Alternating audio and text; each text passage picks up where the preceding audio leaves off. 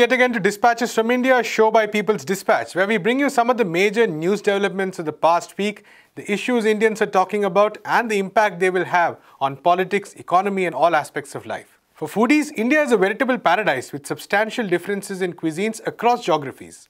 But food is also deeply political in India, closely associated with religion and caste.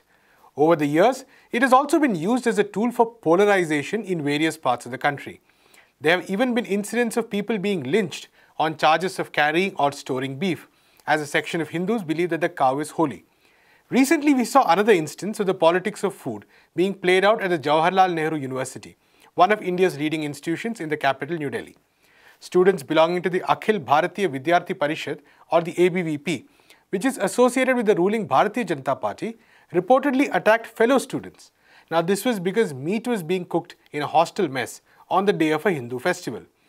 Despite the students agreeing to serve the meat only once the rituals were over, the ABVP group refused the bargain and took to violence. Here is a ground report. जे के पूरे सारे hostels में non veg food serve किया जाता है students को साथ में वेज फ़ूड भी सर्व किया जाता है कावेरी हॉस्टल में क्या हुआ कि एक बजे के करीब जो वेंडर है वो चिकन डिलीवर करने आता है उसको एबीपी के जो गुंडे हैं उसको मार के भगा देते हैं इसको लेकर जो वहाँ के रेजिडेंट है वो मेस वार्डन से मिलने जाते हैं। बोलते हैं कि हमारा जो खाना है वो आज क्यों नहीं बन रहा है? तो वहाँ से पता चलता है कि ना वार्डन से कोई परमिशन है ना कोई डीन ऑफ़ स्टूडेंट से परमिशन है। हमने उनसे बातचीत करने की कोशिश की कि देखो रामनवमी के अंदर ऐसा था हम भी रामनवमी गाँव में बनाते हैं बहुत सारे लोग बनाते हैं अलग अलग तरीके से बनाते हैं।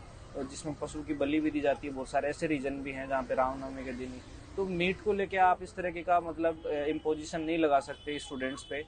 लेकिन उसी दौरान उनपे एबीपी के गुंडे अटैक करते हैं उनपे भी अटैक करते हैं। हमने दिल्ली पुलिस को कंटिन्यूसली कॉल किया। तब जाके दिल्ली पुलिस साढ़े नौ बजे आई।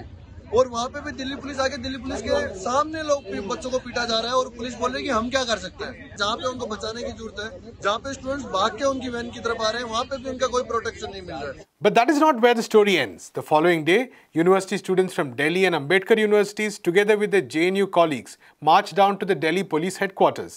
They assembled to voice strong protest at police inaction in dealing with the violence on campus. Instead of getting a hearing, this is how the capital's police responded.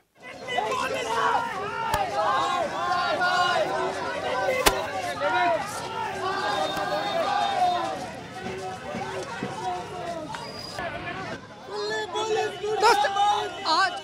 Protest के बारे में हम यहाँ पर इसलिए आए थे कि हमारे जितने साथियों को पीटा गया है बीबी के द्वारा उसमें हमें न्याय मिले। लेकिन आप देख सकते हैं कि किस तरह से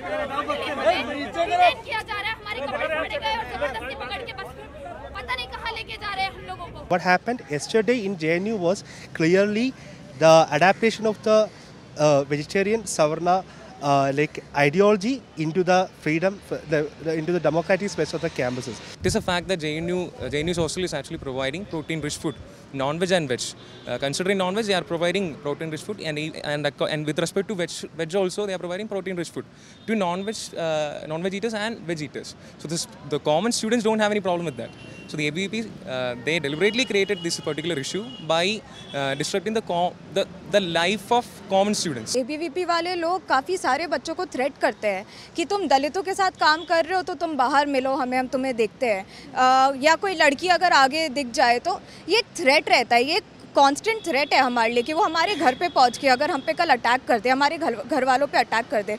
एनीवेज पुलिस भी इस पे कुछ रिएक्ट नहीं कर रही है तो ये बहुत बड़ा डर है हमारे लिए।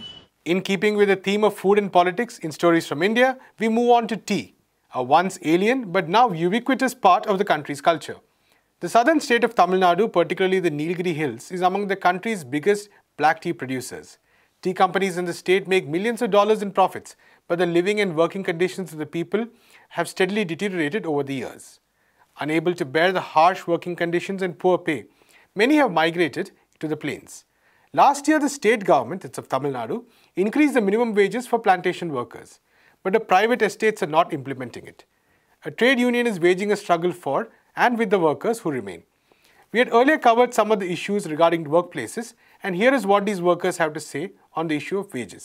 Tea இலையெல்லாம் நல்ல சேல்ஸு இப்போ வந்து அசாம் டீ சைனா டீ எல்லாம் இந்த இதில் வந்து கொரோனா பீரியடில் இறங்கலைன்னு சொல்லிட்டு இந்த டீயெல்லாம் நல்லா சேல்ஸு அப்போ நல்ல சேல்ஸ் ஆன காரணத்தினாலவே எங்களுக்கு சம்பளம் ஊக்க போனஸு அந்த சம்பளம் அதிக சம்பளம் கம்பெனியாக பார்த்து எங்களுக்கு கொடுக்கணும். ஆனால் நாங்கள் கேட்டுமே அந்த கம்பெனி எங்களுக்கு இதுவரையும் கொடுக்கவும் இல்லை கேட்கவும் இல்லை. கொரோனா காலத்தில் வேலை செஞ்சுட்டு தரணும். இது வந்து விவசாய பயிர் அப்படின்னு சொல்லி அப்பவும் நாங்கள் வருமானத்தை தேடி நல்லா உழைச்சி தான் கொடுத்துருக்குறோம். கொரோனா பாதிக்கப்பட்ட டைமில் பாதிப்பு காசுன்னு எதுவுமே இல்லை. கொரோனாவில் லாக்டவுன் பண்ணி வச்சுருந்தவங்களும் கொரோனா இருக்குது இவங்களுக்கு அப்படின்னு சொல்லி சந்தேகம் பண்ணி அவங்கள அடைச்சி வச்சுருந்தவங்களுக்கும் ஒரு நேரம் சாப்பாடு வாங்கி கொடுத்தாங்க அதுவும் கணக்கில் ரெக்கவர் பண்ணிட்டாங்க. மேலும் கவர்மெண்ட் இப்போ சம்பளம் அறிவிச்சாங்க. குறைந்தபட்ச கூலின்னு அறிவிச்சிருக்காங்க. அந் அரசாங்கம் அறிவித்த சம்பளத்தையே இந்த கம்பெனி வந்து கொடுக்கறதுக்கு ரொம்ப யோசனை பண்ணிட்டு இருக்காங்க. ஒவ்வொரு கம்பெனி லாபம்லாம் சரியான லாபம் டீ எஸ்டேட்டை பொறுத்தளவுக்கு இது பணப்பயிருங்க. டீ எஸ்டேட் டீயும் காப்பி ஏலமெல்லாம் பணப்பயிர். இது டீ வந்து டெய்லியும் விளைஞ்சிக்கிட்டு இருக்குது. டெய்லியும் பணம் கொடுத்துக்கிட்டே தான் இருக்குது இந்த கொரோனா பீரியட்லலாம் பாருங்கள் வெளிநாட்டிலேருந்து இறக்குமதி பண்ணுறதெல்லாம் நிப்பாட்டிட்டாங்க மொத்தத்துக்கு. அப்போ இந்த டீ வந்து நல்ல விலைக்கு விற்றுச்சு இந்த டைமும் இவங்க இந்த போனஸ் இந்த வருஷம்லாம் எங்களுக்கு போனஸ் இருபது பர்சன்ட் கொடுக்கலாம். கேரளா பொறுத்தளவுக்கு எல்லாத்துக்கும் இருபது பர்சன்ட் போனஸ் அறிவிச்சிருக்காங்க. கேரளாவில் அவங்க மக்கள் நல்லா இருக்கணும்னு அவங்க செய்கிறாங்க இங்கே இந்த வால்பாறை தேயிலைத்தோட்ட தொழிலத்தில் இருக்க ஓனர்ஸ் மாதிரி எல்லாருமே அப்படித்தான். இப்போ அந்த தொழில் வரின்னு எங்களுக்கு ஒரு இதை கொண்டாண்டானுங்க அப்போ தொழில் தொழில் வரின்னு கொண்டு வரும்போது ஒரு ஆளுக்கு எண்ணூறுரூவா நானூறுரூவா ஆயிரரூவா பிடிச்சிட்டாங்க. இது வந்து ச- நகராட்சின்னு பு- பிடிச்சிருக்காங்க. நான் தொழில் வரின்னு. நாங்கள் வந்து லே அன்னாடு வேலை ஆளுங்க தான். அப்புறம் அதை பிடிச்சி வந்து என்ன செஞ்சுருக்காங்க? அதை அதை கொடுக்காங்க. எம்பிக்கு எலெக்ஷன் வருது. அப்போ வந்து அவர்கிட்ட கோரிக்கை வைக்கும். இந்த தொழில் வரி வந்து ரத்து பண்ணி கொடுங்க. எங்களால் முடியலை. எங்களுக்கு சம்பளமே பத்த மாட்டேங்குது அப்புறம் அதனால் இதை இது பண்ணுங்கன்ட்டு அவர் சரி நான் பண்ணிடுறேன். அதை நிப்பாட்டிடுறேன். போய் செவிச்சுட்டு போனார் ஆளவே காங்க டிஎம்கே டிஎம்கே எம்பி. பாருங்கள் இப்போவும் பாருங்கள் இருபது பர்சன்ட் போனஸ் அங்கே அறிவிச்சிட்டாங்க. எங்களுக்கு வந்து இப்போ அடிப்படை அந்த இது லாபத்தில் அடிப்படை கொடுக்கணும்னு சொல்லி முதலமைச்சர் அறிக்கை விட்டதாக கொ- சொல்லுதாங்க. அது நெசமாக பொய்யான்னு தெரியல. அது தெரியல. ஆனால் இந்த அரசு வந்திருக்க ஏழு- நல்லா எல்லாத்துக்கும் பண்ணுதாரு. ஸ்டாலின் ஐயா அப்போ எங்களுக்கும் பண்ணுவார் அப்படின்னு நம்பிக்கையில் இருக்கும். யார் வந்து நிர்வாகத்தை எதிர்த்து பேசுகிறாங்களோ அவங்கள வந்து பொய் புகாரை சுற்றி அவங்கள வந்து இந்த எஸ்டேட்டில் வேலை செய்ய விடாமல் கணக்கு முடித்து சொந்த ஊருக்கு அனுப்புறதுக்கான வேலைகளை நிர்வாகம் செய்யுது. தொழிலாளியினுடைய எண்ணிக்கை வந்து குறைவாக தான் இருக்குது காரணம் வந்து என்னென்னா இது எல்லா வசதியுமே இல்லை. மருத்துவமனை வசதி கிடையாது வனவிலங்கு தொல்லை நாளுக்கு நாள் அதிகமாகிட்டு இருக்குது குடியிருப்பு வசதி கிடையாது கழிப்பிட வசதி கிடையாது குடிநீர் வசதி கிடையாது எல்லாமே கிடையாது. அப்படிங்கும்போது என்ன பண்ணுறாங்கன்னா And finally, while we're on the subject of the rich getting richer, the Forbes real time billionaires list is out. And among the 10 richest people in the world are two Indians, Gautam Adani and Mukesh Ambani. At the same time, surveys show employment levels in March 2022 have hit yet another low. Other surveys have said that more than 80% of households in India lost sources of income for one reason or the other. This extreme inequality is both visible and very dangerous. Senior journalist Anindya Chakravarti asked this question Is India ruled by the rich?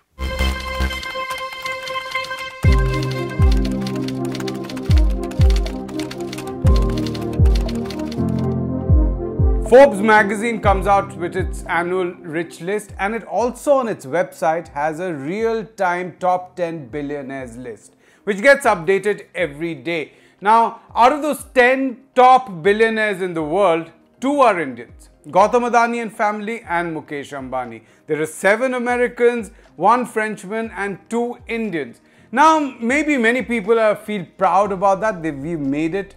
Our people are amongst the richest in the world, and that means that we are very prosperous as a country.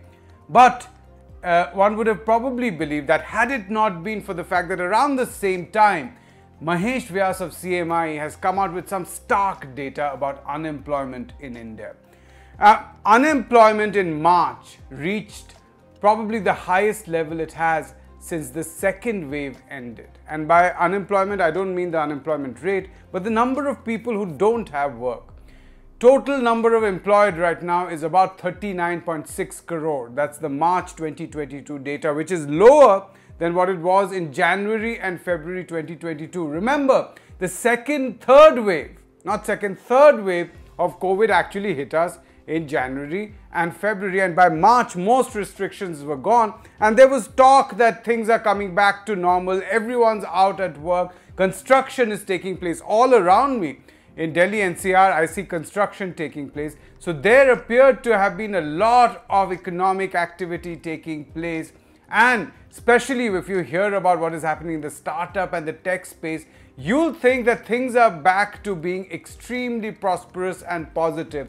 But employment is lower in March than January and February. Pundits call it the two Indias, right? That there is one India which is prosperous and there's another India which has lagged and not been able to catch up. And it appears that as if these two Indias are like that because they operate in two different ways. But that's not true. It's the same policies, same system which has made this into two Indias. It's actually one India.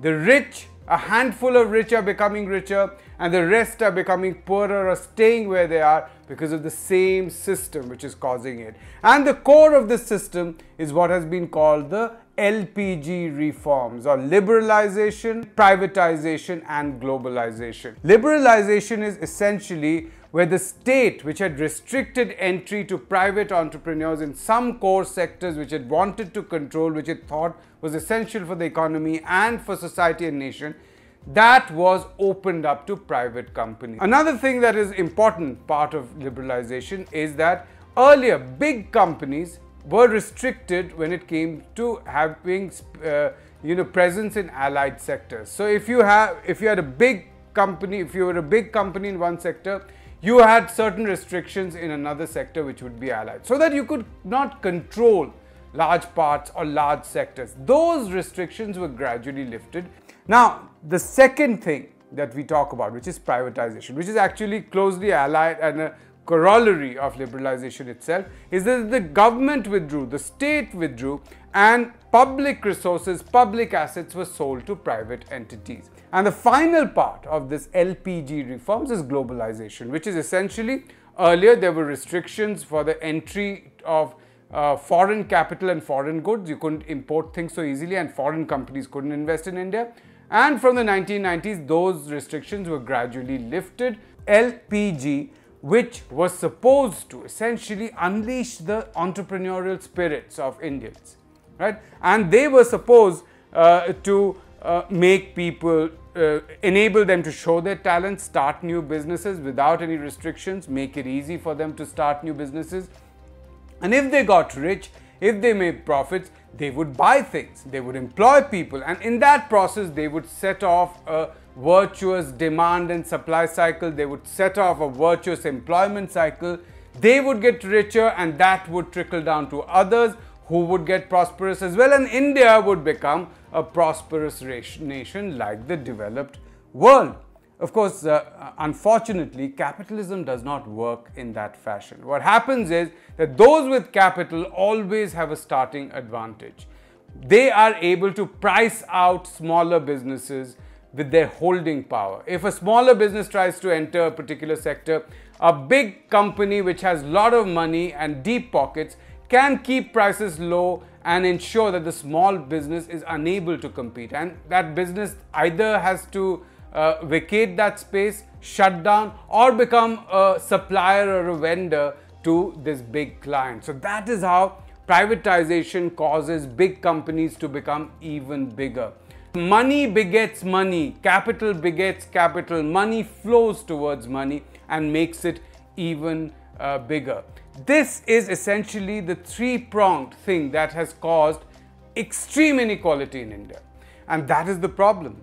Because India has increasingly become a country which produces goods and services for the richest people and for just about uh, the upper middle class, maybe, there's a amount beyond the there's a limit beyond which demand cannot increase so it is consistently constantly constrained where it comes to demand and there is no reason why rich companies would want to expand production. So big companies are simply taking over other areas, looking for places to consolidate and that is causing even bigger discrepancy between the poor and the rich. Some say that India is already a plutocracy, a state or a society which is run and governed by the rich. Even if it isn't, it is in grave danger of becoming one unless there is a rethink, unless there is a political movement to stop that, unless the government decides that it has to bring in policies which equalize things. That's the only way in which democracy can continue to be a real democracy in India, or else we will become a plutocracy. That's all we have time for in this episode of Dispatches from India. We'll be back next week with more such stories. Until then, keep watching People's Dispatch.